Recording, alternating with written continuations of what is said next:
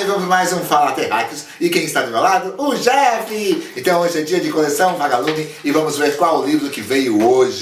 Será um livro bom, será um livro chato, será um livro que emociona, será um livro que dá é pra dar risada ou é pra chorar? Qual é o livro de hoje? Hoje nós vamos falar de um livro chamado Nas Ondas do Surf. Surf, surf, surf, surf. surf. De Edith Modesto. Gente, assim. Vou respirar um pouquinho, porque assim. Se você começar a ler esse livro aqui, nos primeiros 10 capítulos, 15 capítulos, o que acontece? Você vai. Parece que tem duas histórias. Que conta uma parte do, do pessoal do surf, depois conta uma parte do negócio de tráfico. Então, assim, se você começar a ler e não ter persistente até o final, você desiste de ler da metade. Nossa, porque, então parece, é assim? porque parece que são duas histórias. Não acontece muita coisa.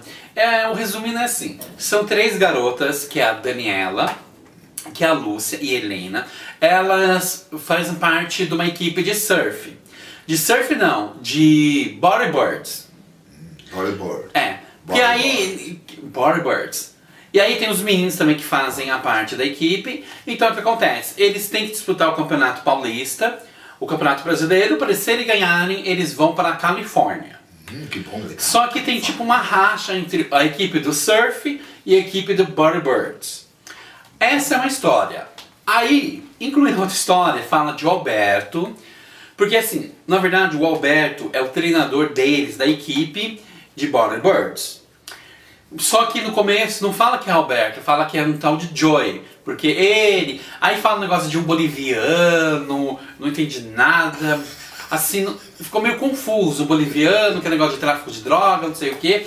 Resumindo, na verdade o Alberto, que é o técnico das equipes de bodyboarders, ele na verdade é o traficante. Quer dizer, não é, que, história. não é que ele é traficante. Ele traficava no passado, aí ele se recuperou, só que entrou na da máfia e a máfia vai atrás dele. Que ele quer que leve 2 quilos de cocaína para os Estados Unidos, Califórnia. Se ele não faz isso, ele acaba morto. E o que a ideia dele tem? Ele tem a ideia de colocar dentro das pranchas a cocaína. Só que. Hã? As pranchas. As pranchas. É isso. É um livro tão assim que ah, é meio confuso. Só que daí, aí tem a Suzy, que a Suzy faz parte também do tráfico. Aí ela começa a gostar dele, porque no começo ela tenta impedir ele de levar a droga. É meio confuso, tipo assim, ele tem que levar, mas a Suzy, que é de outra.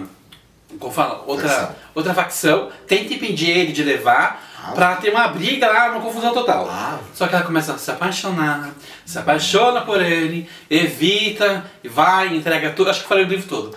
Entrega pra polícia a droga.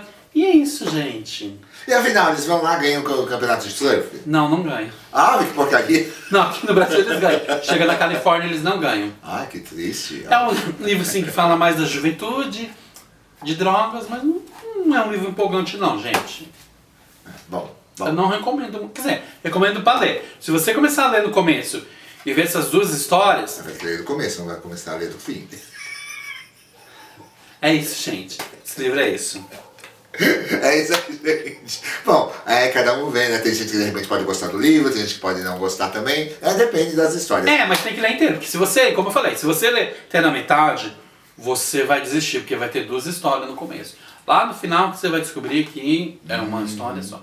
Que é tipo assim, viver no passado e futuro. ah, Ah, deu pra entender, tá? Então é isso aí, gente, tá? Então aí nós temos as críticas é, realistas e verdadeiras do Jeff, ele não mente, tá? Quando ele gosta, ele gosta, quando ele não gosta, ele mete pau. É isso aí, gente. Até o próximo Fala Terráqueos. Deixe seu like, deixe seu comentário. Não esqueça os pirandelos nas quartas e às sextas, ah, aos sábados, aliás, né? E o que mais? E voltamos a qualquer momento com mais o quê? Fala Terráqueos!